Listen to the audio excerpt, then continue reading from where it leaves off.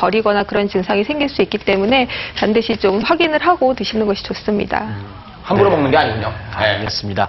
자, 그러면 그 무기질 균형을 위해서 좀 피해야 할 습관들도 우리가 좀 짚어보면 좋을 것 같은데요. 이영을 교수님. 네, 아, 뭐, 현대가 아까도 많이 나왔는데, 현대가 이렇게 바빠지다 보니까, 또 그리고 몸짱 신드롬이 있다 보니까 요즘에 무리하게 다이어트들을 많이 하시고, 또 이제 급하게 비키니를 입으려니까 원푸드 다이어트도 많이 하시게 되고, 또 패스트푸드랑 같이 또 탄산음료를 막 많이 드시는데, 이렇게 되면 뭐 칼슘하고 인의 불균형이 온다든지, 이런 것 때문에, 어, 많이 그 나쁜 식습관으로 인해서 무기질의 불균형을 가져올 수가 있겠습니다. 예. 그러니까 네. 그 여름철에 그 부족, 부족함이 생기기 쉬운 게, 그 적게 먹고 다이어트 하려고 그러니까 그게 생기는 걸 수도 있겠어요. 그냥 여러 가지 골고루 많이 먹으면 무기질 흡수도 자연스럽게 되겠네요. 그렇죠? 맞습니다.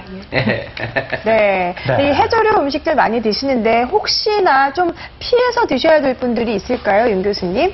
어, 아까도 말씀드렸지만 이제 신장이 좀 안 좋으면 이제 배설이 나빠질 수 있기 때문에 신장이 안 좋으신 분이거나 이제 혈압이 좀 낮아서 어지럽거나 대부분의 미네랄은 이제 신장 기능이 안 좋으신 분들은 조금 조심하시는 것이 좋습니다. 네, 알겠습니다. 마지막으로 두 분께 이제 강조의 말씀 듣도록 하겠습니다. 이영은 교수님부터요. 네, 뭐 무기질은 어, 아주 아까 강성모 선생님이 잘 말씀해 주셨는데 어, 골고루 모든 음식을 잘 먹으면 작은 양이 필요하기 때문에 섭취가 됩니다. 근데 이제 그 균형이 아까 중요하다고 많이 말씀을 하셨죠. 그래서 탄산음료 같은 건 인이 많아서 칼슘의 배설을 촉진하거나 마그네슘의 배설을 촉진한다든지 이런 게 네. 있기 때문에 탄산음료라든지 또 우리가 칼슘 하면 사골국물 같은 걸 많이 내서 드시는데 사골국물도 칼슘 대 인의 비율이 인이 굉장히 많습니다. 그래서 칼슘이 생각처럼 많이 그게 흡수가 안 돼요. 돼요. 예, 아. 이렇게 그러니까 칼슘이 많이 이렇게 우리 몸에 보유가 안 되니까 그런 거.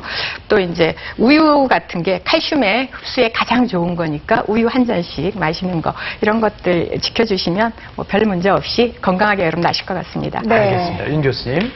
네, 현대인 음식 자체가 무기질이 많이 부족하게 돼요. 그렇기 때문에 맛있는 음식도 좋지만 건강을 많이 생각하셔서 특히 여름에는 무기질 결핍이 올 수 있기 때문에 균형 잡힌, 균형 잡힌 식사 습관을 해서 보다 활기찬 여름을 나기를 바랍니다. 네, 알겠습니다. 자, 내일 방송 예고해드립니다.